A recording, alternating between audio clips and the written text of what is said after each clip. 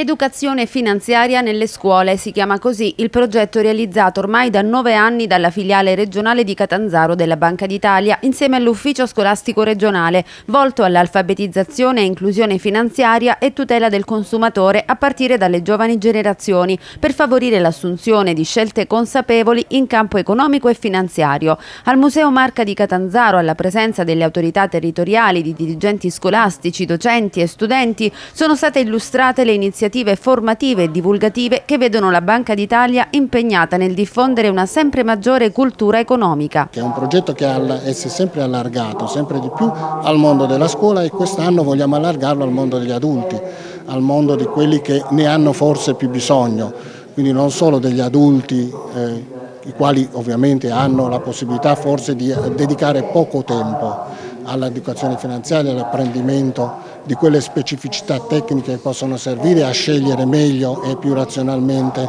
le occasioni finanziarie, ma anche e soprattutto degli adulti più disagiati, quelli che sono nelle carceri, di quelli che soffrono di disabilità, dei migranti e dei profughi. Nell'occasione sono state svelate alcune caratteristiche della nuova banconota da 50 euro che entrerà in circolazione a partire dal 4 aprile 2017. Rossella Galati per la CNews 24.